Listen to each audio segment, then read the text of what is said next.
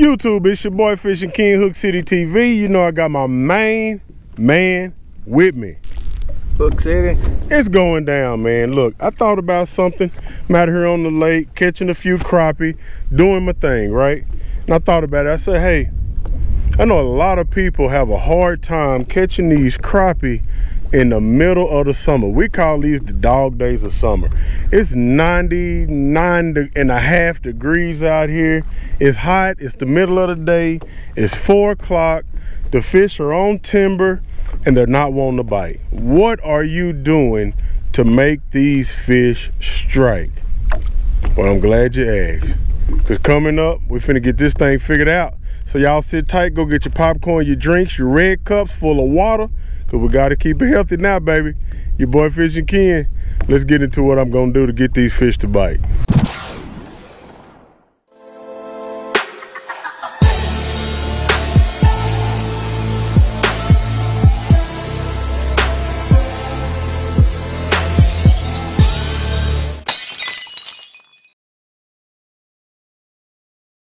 Like I said, we're fishing timber, which is one of my favorite things to fish, especially in the summertime. Um, you get into this deeper water on this timber.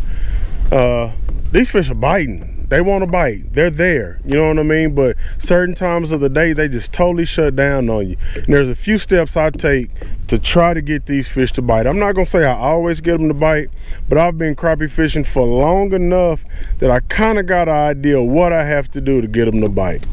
So Let's start in on it. What you got there, Dad? Uh, one. Uno. One. Now, let me ask you a question, man. You mind mind if we talk to you for a minute, Hook City? Yeah. Before we go too far, let's uh let's take a commercial break and make sure that's a 10 inch crappie. Okay. Now y'all know Dad is notorious for dropping down during my intro catching a fish and true to form, there is a keeper. And what we're doing, man, we're not using live wells in the summertime.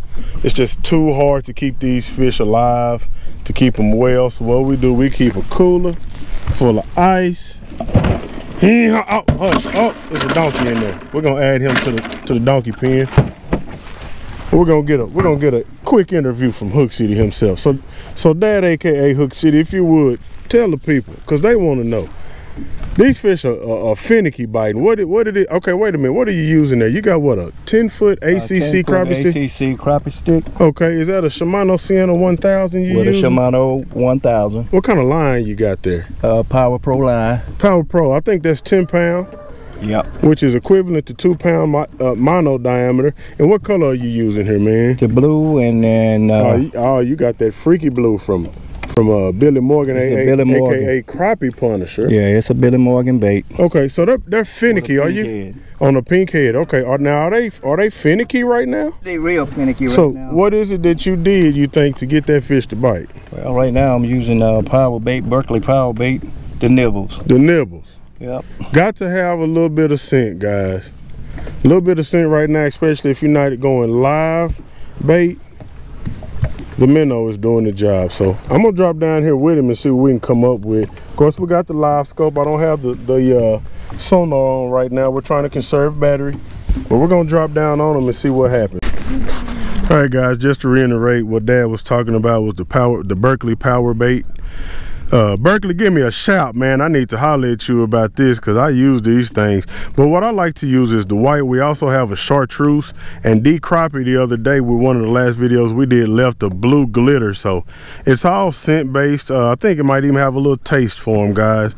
Um, and then on the back, it just shows you how to thread it onto the hook. We added to our um, our uh, jigs. So what I'm using is an eighth ounce. Same thing I'm using Power Pro line guys with the old school ACC. Um, but what I'm using is is this old funny tail uh, jig made by, and I'll put I'll put it on the bottom there because I don't remember Strike King. It's a Strike King bait, a little paddle tail, a little swim tail, um, something that's just giving me a little action while it's down there. I want to do whatever I can to aggravate those fish. And what I did is I bit off half of the front half. I want to make it a smaller jig. So that's one thing I want y'all to take note of. Whenever these fish are finicky, I usually downsize the bait and I add some type of uh, taste and smell, especially if there's a if I'm not using live bait. We're not using live bait, no minnows on the boat today.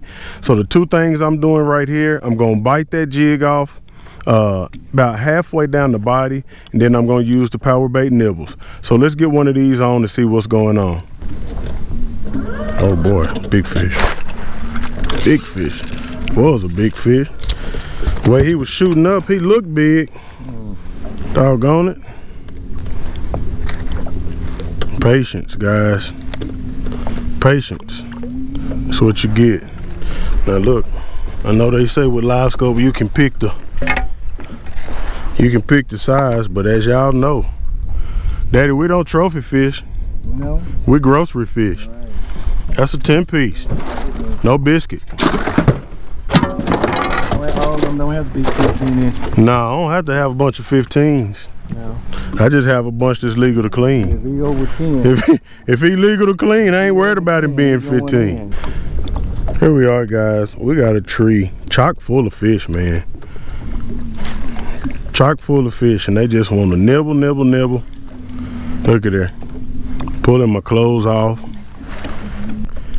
I'll quit using the nibbles, and sometimes I'll even try uh, just scent. Ooh, what you doing over there, Hook City? Oh, baby, baby. Yeah, he got he got the sickness. Yeah, Yeah, he got the EBGB. Hurry up, get him off the boat.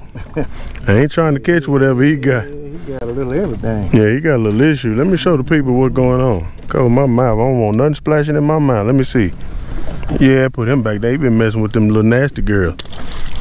Yeah. Yeah, we don't need no fungus. Mm-mm. All right. We don't need no fungus among us.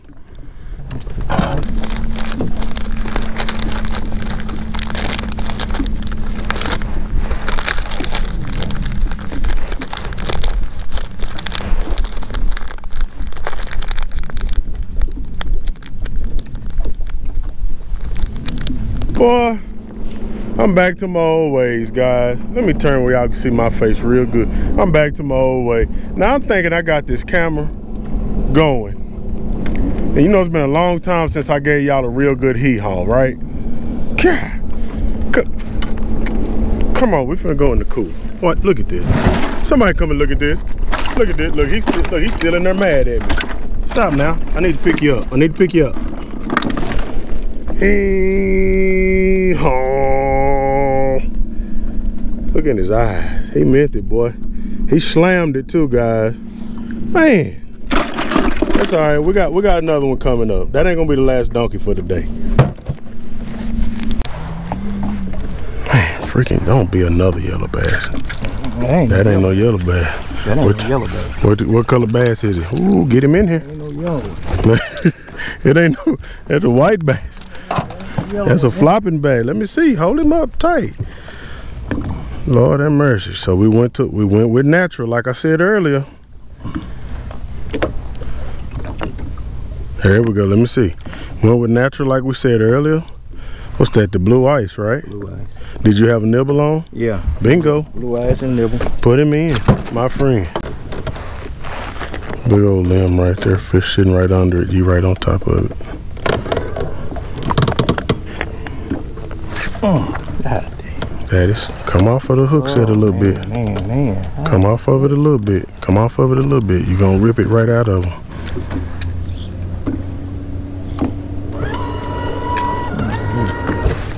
See there? You got him? Yeah, I got him.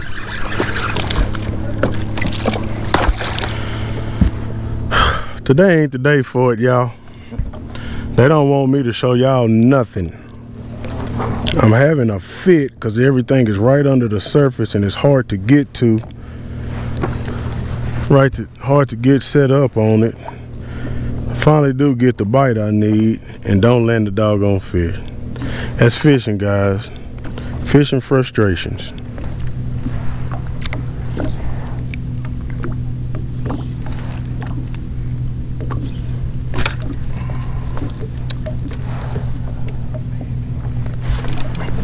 Okay, here we go again. Let's see about this one, y'all. All right. Good God. I'll tell you what. How sweet it is. How sweet it is. So again, guys, we we did switch it up to the silver and chartreuse, and I went ahead and bit it. I noticed I hadn't bit it off yet, so I bit it off, made it a little bit shorter.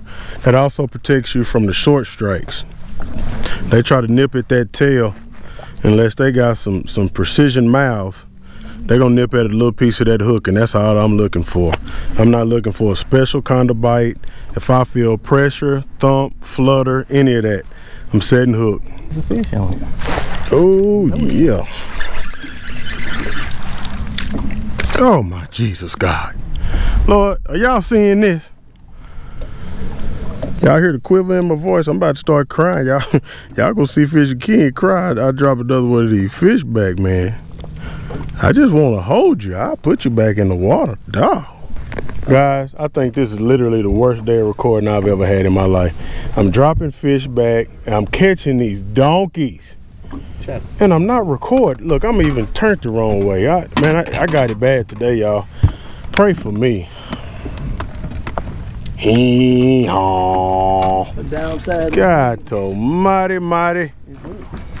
I missed it again. My bell flipped open when I set the hook. I, man, I'm dropping fish back. Everything is just happening. Then I think I might have tore up my trolling motor, y'all. We'll we'll say that for another video, but this one's in my hand, so I'm gonna put him in the bucket. Let's go, baby. Everybody drop fish. I need a freelance free cameraman is what I need. Yeah, I need somebody that can make sure it's recording at all times. Golly. Yeah, but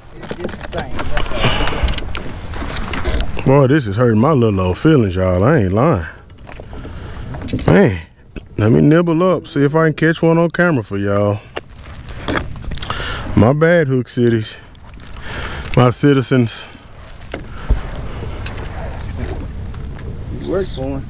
I'm working for them, but doggone.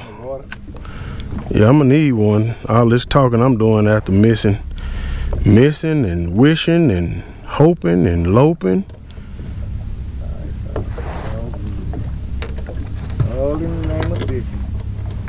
Oh, Doggone. All in the name. I mean, and they slamming it too, boy. Look at her. Look at her. Go another one. Camera better be rolling this. Oh, look here. And this this what I catch on camera, y'all. This what I get. that ain't no. if he is a keeper, he ain't got many fillet on him. No. No, ain't no 10 inch fish. That's what I catch for y'all to see. My bad, y'all. It ain't all top secret, I promise. Should be right over here. Yeah. Bingo. Bingo. All right.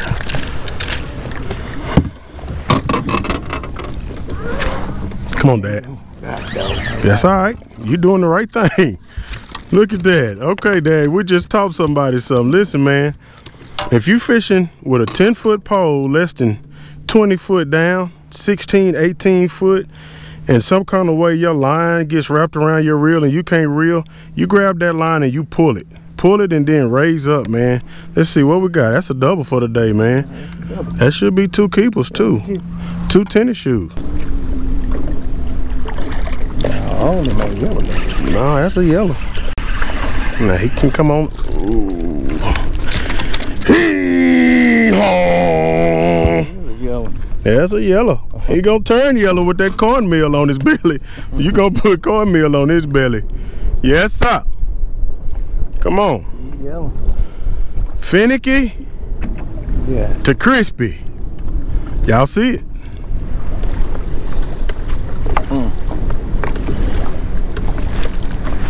Little. Mm. Big enough, ain't he? He big enough, ain't he? Stop now, stop, stop. You going back. I'm gonna cool y'all. Better not be 10, my friend. Oh, he got to go in.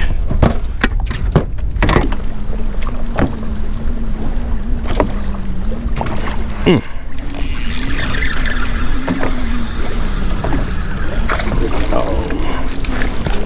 Like that fish came off. I was say, oh man. No, don't say oh man. Say oh yeah. Let me hear you say oh yeah. Yeah, yeah, Don't say oh man. Say oh yeah. That's a keeper. Jeepers keepers. These fish they've been spooking. Again, they're finicky. What this live scope is showing me. Again, I'm using that live scope with the uh, 1222 Garmin. Shout out to the bass tank if you need any kind of electronics. But what I'm noticing, man, when I pull up to these trees, these fish are spooking. So what I did, I spot locked about 10 foot right my I usually spot lock around five foot away, especially if they're not uh if they're not scary. But I had to spot lock it at about 10 foot away. I swung it out. As long as you're in the cone, guys, you can see it swinging back into that tree or into that pile or whatever your target is. Saw it swing back, held it right over the top of that fish and yanked. Woo! Jesus. Boy, I can't get enough of that. Some say it's cheating. I say we eating. Let's go, baby. There he is. Soon as I turned the camera on. Take my time with him. Bring that horse up. All right. Schwego. Ooh, wait. Wait, wait. Man, it's hard leaving these fish like this, but I gotta go, y'all. There's one thing I left out when we're talking about finicky crappie. And that one last thing is persistence, y'all. Persistence, persistence, persistence. You got to stay at them. You got to be that fly in their face, just nagging, nagging, nagging. Because if they're if they ain't eating, I always tell people fish don't have hands. If they ain't eating, you nagging them. They want that stuff out their face, man. So what are they gonna do? They're gonna eat it to get rid of it. That's all I need them to do. I'm just trying to trigger a bite. So with finicky crappie, y'all, make sure you have a nibble. Make sure you downsize if they're not eating your two inch or three inch base that you regularly put down there. And number three, be persistent, man. Y'all saw it here first. It's your boy Fishing Ken, my main man. We out here. Don't forget to like, comment, and subscribe. Your boy will be back with another video real soon. Let's get it.